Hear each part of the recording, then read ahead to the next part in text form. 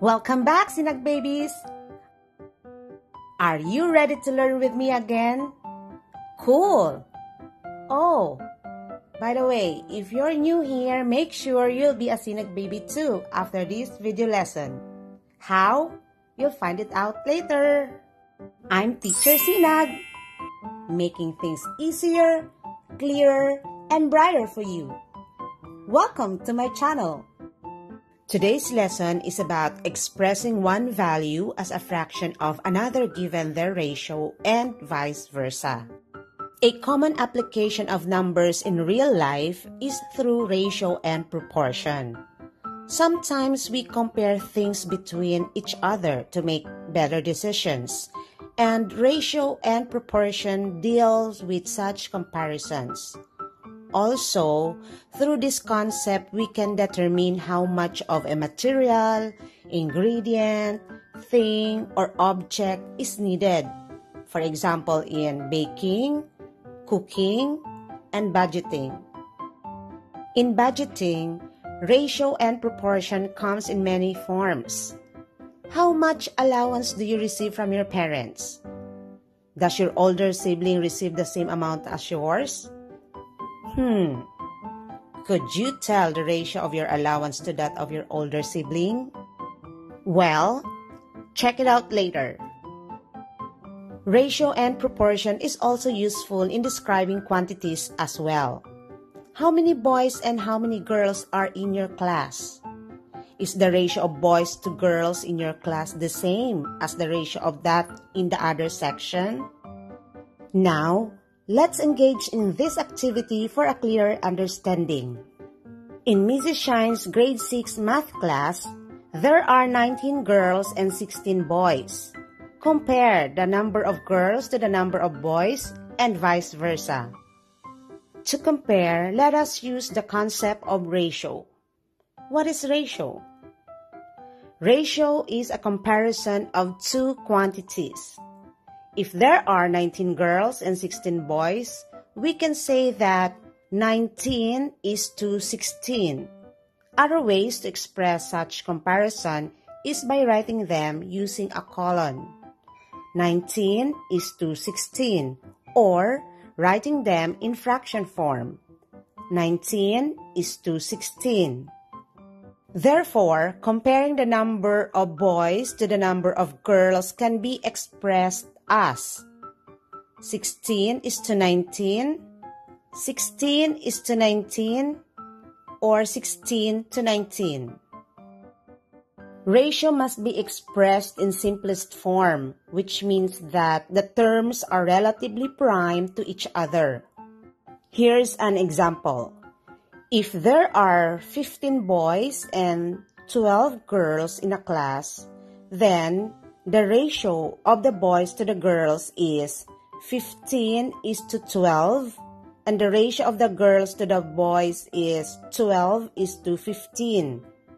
In the ratio 15 is to 12, the first term is 15 and the second term is 12. It may also be written as 15 is to 12 or 15 is to 12. Even if the ratio is in fractional form, we must say it as 15 is to 12. Since the ratio is not yet in its simplest form, we can express it as this. First, get the LCM of 15 and 12. So 15 is equivalent to 3 times 5. 12 is equivalent to 3 times 4. Then, get the common factor which is 3 and it becomes 1. So 1 times 5 equals 5. 1 times 4 equals 4. So, therefore, the simplest form of 15 is to 12 is 5 is to 4. How about this? Write ratios equivalent to 3 is to 5. Okay, we can use factors of 2, 4, 6, etc. So 3 is to 5 is equivalent to 6 is to 10, 12 is to 20, and 18 over 30. As you have seen in the previous examples, the quantities being compared in any given ratio have the same unit or classification. There are instances when the terms of the ratio do not have the same units or classifications. For example, 60 kilometers to an hour or 60 kilometers per hour. This special ratio is called rate. Here's another example. Joshua scored 168 points in 7 basketball games. Express in lowest terms the average rate of number of points that Joshua scored in every game. Rate equals 168 points is to 7 games. To get the average rate, just divide 168 to 7 and the answer is 24 points per game. Did you get the lesson, kids? Quite easy, right? Let's see if you really learned something from me today. It's assessment time.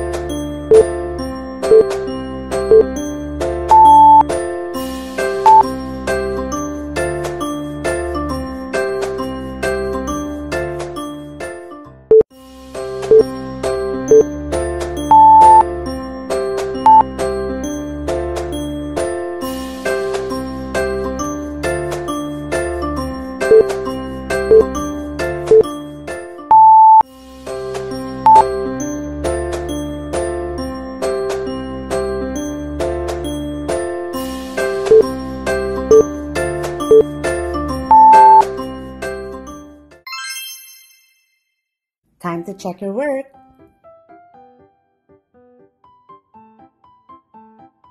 Did you get it right? Awesome! Sinag babies are fast learners. Now, you can already claim my tagline as Sinag babies. Follow me with the simple steps. Give a pat on your shoulders, spread your arms and fingers like a ray of light, and hit it with a whoa and say, Sinag Baby! Please don't forget to like, subscribe, and hit the bell to be notified and updated with my upcoming videos.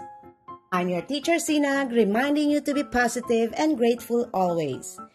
Stay home, stay safe. God bless. Bye.